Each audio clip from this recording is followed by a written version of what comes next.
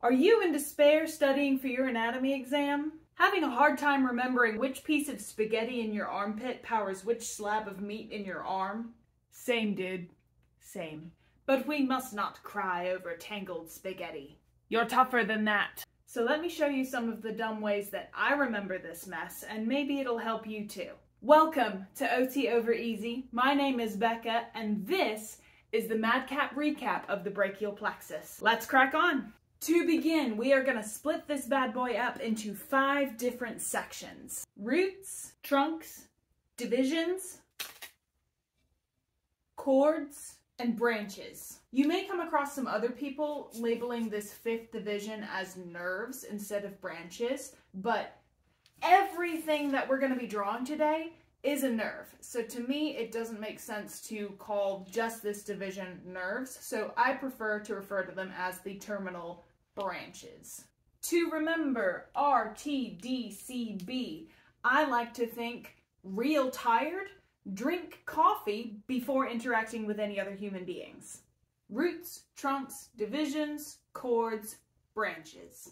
Let's draw our major framework first, and then we'll go back through and add all the little offshoots and what they innervate. Let's start at the very beginning. The roots section is referring to the spinal nerve roots. The brachial plexus is going to be getting contributions from C5, C6, C7, C8, and T1.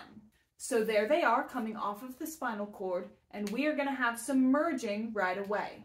C5 and C6 are gonna come together and C8 and T1 are also gonna come together. And then the middle here, C7, C7 is the mean girl of our story. And to start off with, C7 is not gonna have any friends. She is gonna go her own way. And these early friendships formed are going to give rise to our three trunks.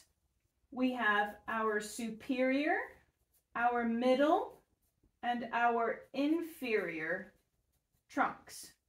To continue drawing our framework, we're just to carry these ladies on into the D section. D for divisions and D for drama. So remember how our mean girl C7, which became our middle trunk, had no friends? Well, superior trunk, who's actually kind of nice, noticed that and was like, hey, middle trunk, let's be friends. I'm gonna give you a gift. So there we go, there's superior trunk giving middle trunk a gift.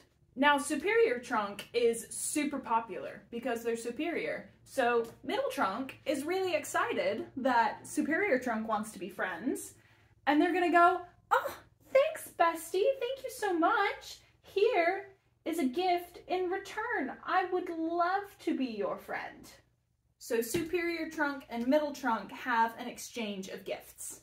Now, inferior trunk is inferior in social status, but also very kind and wanted to be nice to middle mean girl. So they're going to say, hey, here's a gift from me too. But middle mean girl doesn't want an inferior friend. So middle mean girl is going to be like, um, ew, thanks for the gift or whatever, but don't talk to me. And does not give a gift in return. I know. I told you D for drama. And now after all that gift swapping, that is going to give rise to our three cords. And we are going to be changing our names because we're in high school and we're figuring ourselves out or whatever. So we are now going to be the lateral, posterior, and medial cords. To remember which side is lateral and which side is medial, just remember that your anatomical position is this. Lateral is out to the side, medial is closer to the center. So if you're thinking this is coming off your spinal cord, our arm is kind of oriented like this, right? So our lateral side, that's up here. So your lateral cord is the one kind of on the top side here. Medial, closer to the center. Your medial is gonna be this bottom side here. And then that posterior cord, well, our mean middle girl, after all this drama happened here, everybody saw what happened and they're not going to put up with it. So guess what? They're pushing mean middle girl to the back. So they are becoming the posterior cord. So then finally we have our terminal branches. Each one of our leading ladies is going to have their own terminal branch. On the top here, this is going to become our musculocutaneous branch. Our mean girl posterior cord is going to become the radial nerve. Medial cord is going to become the ulnar nerve. And we're going to have one last moment of friendship. Lateral cord is going to say, Hey there, medial cord. I saw what happened back here. I saw what that mean girl did to you. And I will be your friend instead. So that lateral cord is going to extend their hand, and that medial cord with a tear in their eye, is going to reach out with their hand as well and join them. And together, with the power of friendship, they will form the median nerve. It's so beautiful. So this gives us our basic framework and now we can go back in and adding in the little extra branches that come off along the way. Let's stick with our terminal branches for a moment while we're here. Your musculocutaneous nerve has contributions from C5 and C6 all the way along the top here and from C7 because remember our mean girl gave us that gift here. So we're C5 through C7. Radial nerve has contributions from all five because remember we've got our C7 here and C5, C6 gave a gift when they were trying to be nice. C8, T1 gave a gift when they were trying to be nice. So radial has all five. C5 through T1. Median nerve also has contributions from all five because it's coming off of that C5, C6 here. It got that contribution from C7 here during the gift exchange and right at the end there, extending that hand of friendship, it got its C8, T1 contribution as well. So median nerve is also C5 through T1 contributions. Ulnar nerve is C8, T1 only, right? Because here C8 and T1 came together and then it gave a gift, it gave a gift, but it never received a gift. So it's C8, T1 only. So what do these nerves innervate? The lists are pretty long and it's a little bit more than what I want to list out in this particular video. So just speaking broadly, your musculocutaneous nerve is going to do your anterior brachium. They're primarily responsible for elbow flexion. Your radial nerve, remember it's coming off of that posterior cord, it got pushed to the back, so your radial nerve is going to do a lot of things on the back side of the arm when you're thinking about that anatomical position. So it's going to get back here and extend the elbow, your triceps. It's going to get the back of the forearm, which is going to extend your wrist, your fingers, and your thumb. So posterior brachium, your supinator, your brachioradialis, your wrist, finger, and thumb extensors, and your abductor pollicis longus. And I just realized I wrote all of that above my median nerve instead of my radial nerve. Sorry, kids. This all is radial nerve. Radial nerve gets most of posterior forearm. The anterior forearm is going to be shared by the median and ulnar nerves. Your median nerve is going to get your pronators, radial wrist and finger flexion.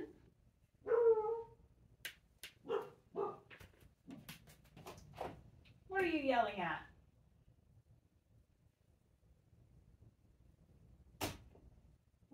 Dingle dangle dog, lost my train of thought.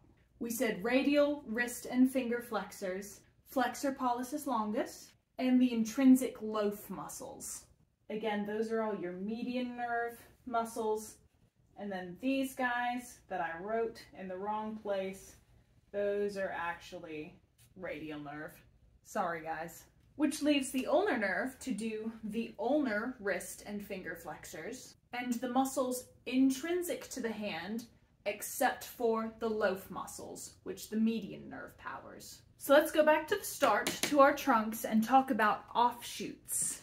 We are going to have two nerves coming off at the roots, two coming off at the trunks, zero coming off in the divisions, seven coming off in the cords, and just one more off in the branches. So two in the roots. The first one we are going to talk about is your long thoracic nerve, which is going to come off of C5, C6, and C7, coming all the way down here. So again, that's C5, C6, C7, coming down to form long thoracic nerve, and that is going to power your serratus anterior. The classic exam question for long thoracic that I see all the time is if you see winging of the scapula, which nerve might be inhibited? It's long thoracic because serratus anterior is the primary muscle that prevents scapular winging. So that's number one off of the roots. Number two is going to be up here, and it's your dorsal scapular nerve. Dorsal scapular nerve is going to get muscles on the dorsum of the scapula. Makes sense, right? It's going to get your rhomboids and your levator scapulae. The trunks are also going to give off two nerves. Both of them are going to come off of the superior trunk because she's superior. She's just that generous. We've got a one and a two. The one going up is going to be your suprascapular nerve. So supra, above, scapular nerve is going to get the muscles at the top of your scapula, your supraspinatus, and your infraspinatus. Then coming down is going to be the subclavius nerve, which is going to give innervation to the subclavius muscle. Huzzah! So the two nerves coming off of the superior trunk, just remember one is supra, above, one is sub, below. Suprascapular, subclavius. The divisions have no offshoots, but the cords have seven offshoots. So let's break that down just a little bit further. We're gonna have one off of the lateral cord, three off of the posterior cord, and three off of the medial cord. One, three, three. The one at the top here is going to be your lateral pectoral nerve. Down here, coming off of the medial cord, is going to be the medial pectoral nerve. So lateral pectoral off of the lateral cord, medial pectoral off of the medial, medial cord. The pectoral nerves are going to innervate the pectoral muscles. Now, pec major is a really big muscle, so it's going to draw power from both of these nerves. So we've got pec major up here and pec major down here. Pec minor is a lot smaller than pec major, so it doesn't need both nerves. Pec minor is just going to share the medial pectoral nerve. So remember, pec major, big muscle, gets both pectoral nerves. Pec minor, smaller, smaller muscle, shares just the one nerve. In the middle here, coming off of the posterior cord, we have three subscapular nerves. We have upper subscap, middle subscap, and lower subscap. Your upper subscapular nerve is going to power your subscapularis muscle. Middle subscapular nerve is going to power your latissimus dorsi. And lower subscapular nerve is going to get your teres major. Two extra notes that I forgot to mention in my initial recordings of this video. Number one, the middle subscapular nerve is sometimes also called the thoracodorsal nerve. So if you see that somewhere, thoracodorsal nerve and middle subscapular nerve are the same thing. And the lower subscapular nerve also provides some innervation to subscapularis muscle. So subscapularis comes from upper subscap and lower subscap nerves.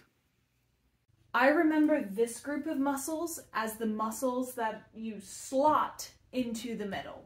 SLT, slot, subscapularis, latissimus dorsi, teres major, slot. Then the last two offshoots from the medial cord are two other medial nerves. We're going to have the medial brachial cutaneous nerve, and then we're going to have the medial antebrachial cutaneous nerve. These two nerves are cutaneous nerves, which means they do not power any musculature. they are only sensory nerves. So your medial brachial cutaneous nerve is going to come up here. Your medial antebrachial cutaneous nerve is going to come down here. Remember, brachium is upper arm, antebrachium is lower arm. So these seven here, again, we've got lateral pectoral, medial pectoral. The other two coming off of the medial cord are the medial brachial cutaneous, the medial antebrachial cutaneous. So you've got three medial, medial, medial, all off of the medial. And then in the middle, we slot those three muscles into the medial, middle with your upper, middle, and lower subscapular nerves. Which leaves us with just one more offshoot, one coming off of the branches. It's going to come off of the radial nerve here, and that's going to be your axillary nerve. Axillary nerve, think axilla around the armpit and shoulder, is going to get your deltoid and your teres minor. So teres major is here with the lower subscap nerve. Teres minor is here with the axillary nerve. And this, my friends, is the brachial plexus. So let me bring you in just a little closer here so you can see a little more clearly. We have roots, trunks, divisions, cords, and branches. Remember, for the little offshoots, you're going to have two, two, one, three, three, one. That's how I remember it. Thank you so much for joining me. If you have questions about this, or if you have something you would like to see me cover in a similar way, please just drop them in the comments below. But otherwise, I hope this makes remembering the brachial plexus a little more easy. Happy studying!